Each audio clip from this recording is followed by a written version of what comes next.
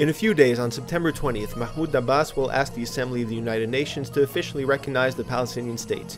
Europe is divided, the United States are opposed, but over two thirds of the 192 countries represented at the UN headquarters in New York are ready to vote in favor.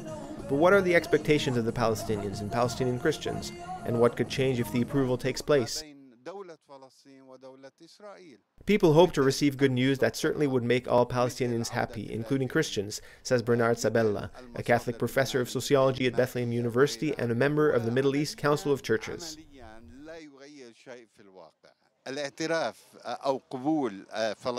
But nothing will change in reality, except perhaps the image of Palestine that would be officially recognized in many UN institutions, such as the Court of Human Rights.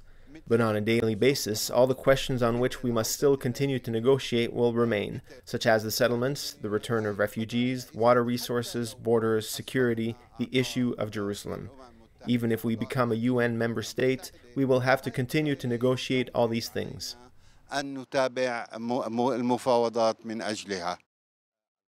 But will Palestine be ready for a real autonomy? Yes, according to Dr. Sabella because it already has infrastructures and services for its citizens that were implemented with great effort in the past two years.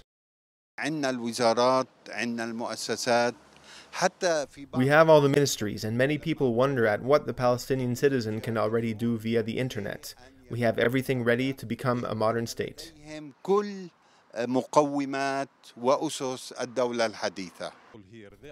On the potential of the Palestinians, the citizen of Bethlehem echoes him. This people is strong, he says. We will not have any problems, especially here in Bethlehem, where we live well from tourism. Just give us a chance, and I'm sure these people will succeed. We are living in Bethlehem city. We will not face anything. There are a few extra flags these days along the streets of Palestinian cities, but not any particular involvement of the people towards the fateful date of September 20th. Rather, some concerns regarding any implications that could further penalize the population living on this side of the wall. بأن بغض النظر عما سيحدث بأن بعض الحكمة ستكون هي الطريقة التي سيتعامل بها بعض I hope that beyond all that could happen, some Israeli politicians and members of Congress of the United States can really choose the path of wisdom, because I'm afraid that if you start to impose punishments or closures or cancel agreements already made, this will have a negative impact to the detriment of peace and of all those Palestinians who believe that negotiations are the only way to bring this difficult conflict to an end. I say that the request of Palestine to be a UN member state is a right and not a crime. If some Israelis look to our petition as an action against Israel, this could lead to fundamentalism, but it is not a step against Israel and only a Palestinian cry.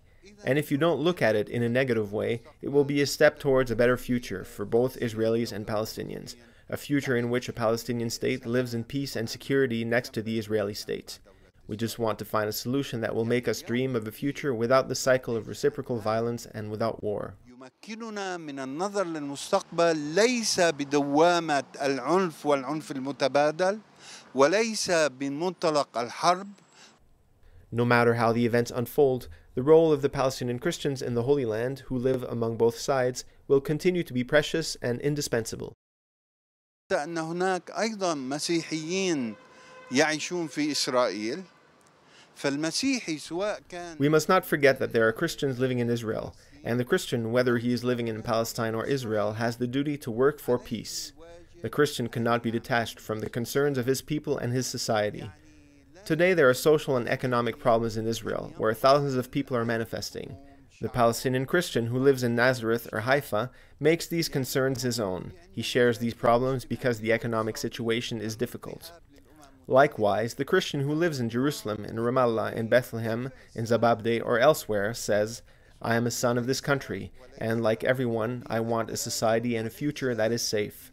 And so we must see in this step of going to the UN a way of promoting peace, a step forward and not a step back, and even less an act of war. The Palestinian Christians, like all Palestinians, want to come to the end of the conflict, but not at all costs.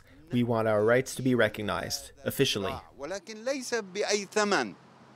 فهناك حقوق ويجب علينا الحفاظ على هذه الحقوق